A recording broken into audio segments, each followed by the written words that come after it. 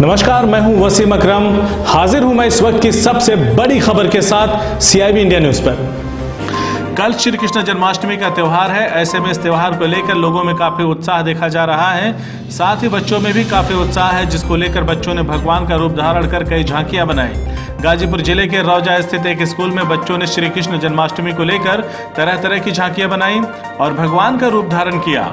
इस दौरान शहर भर में लोगों ने इन झांकियों का लुत्फ उठाया। वहीं बच्चों ने भगवान श्री कृष्ण के वेश में अपनी मनोरम छटा बिखेरी जिसमें बच्चों ने बाल कृष्ण की भूमिका में नटखट लीलाएँ भी की गोपियों संग नृत्य कर पर्व की महत्ता को दर्शाया भी।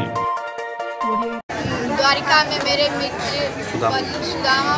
आए तो मैं उनका चरण हूँ। अच्छा मित्र सब परि होता है। होता है एक दिन पहले इस कृष्ण जन्माष्टमी का उत्सव रखा है जी सर अ, झांकियाँ में अलग अलग जब बाल कृष्ण जन्मोत्सव से लेकर के कंसवध से कंसवध तक और उसके बाद जब श्री कृष्ण विष्णु अवतार लिए थे तब तक इसमें झांकियाँ हैं। सर झांकियों से ये संदेश कि आज भी हमारे सभी लोग प्राचीन इतिहास को भूल गए हैं और इस सब चीज़ों में इंटरेस्ट नहीं रखते हैं।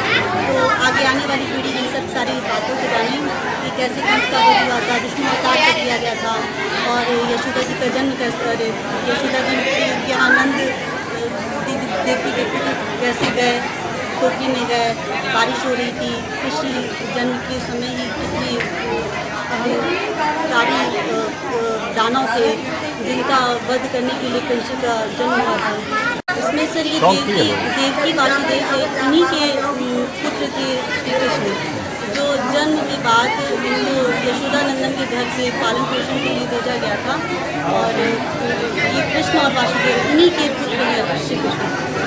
अगर आपको हमारी खबर अच्छी लगी तो खबर को लाइक करें, शेयर करें और चैनल को सब्सक्राइब ज़रूर करें। साथ ही स्क्रीन पर दिख रही घंटी को दबाएँ ताकि आप तक हमारी सभी खबरों के नोटिफिकेशन पहुँचते रहें।